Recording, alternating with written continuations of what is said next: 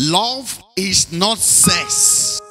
A love that is only expressible in sex is nothing but a twin brother of lust. Love is not sex, and sex is not love. Sex is only one of the many expressions of love. As a matter of fact, sex before marriage is never a sign of true love. Brother, it destroys the chances of learning real love. Sex in marriage makes God happy, but premarital sex breaks God's heart. You don't want to break God's heart, do you? So you need to keep yourself. Keep your body holy, keep what you have. Sex in marriage is an act of worship. But whatever you do that pleases God is an act of worship because it gives pleasures to God. Listen to this. We cannot gain love by premarital sex. You can't learn love. You can't gain love by premarital sex because love is more than sex.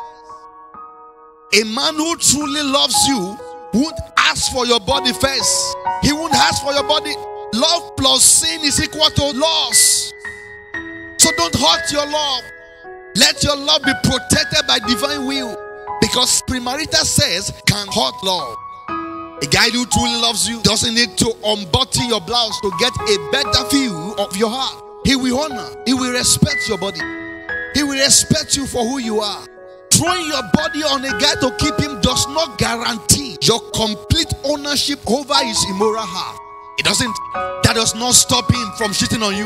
Because if he can sleep with you, as a matter of fact, what stops him from sleeping with other girls all around?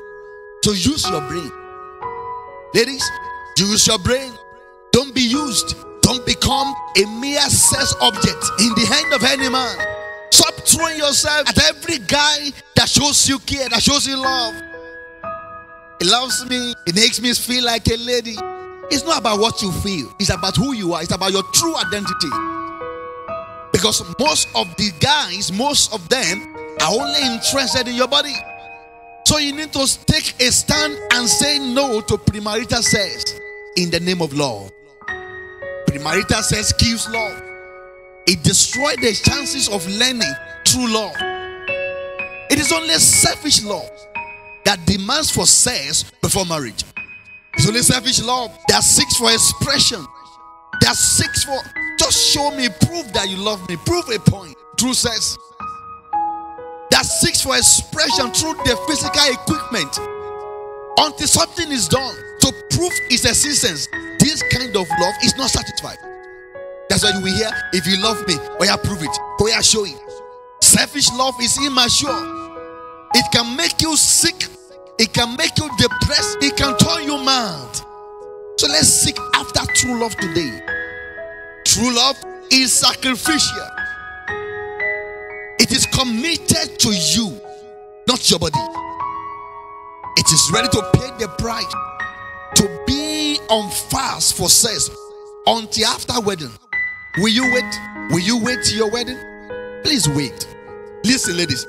If the brother is asking you for sex against your will before marriage, know that his love for you is a selfish love, an epitome of lust. Don't try to gain love or hold on to it by giving sex. It doesn't work. Real love may lead to engagement, may lead to marriage, even sex after marriage. But sex, premarital sex, does not lead to real love.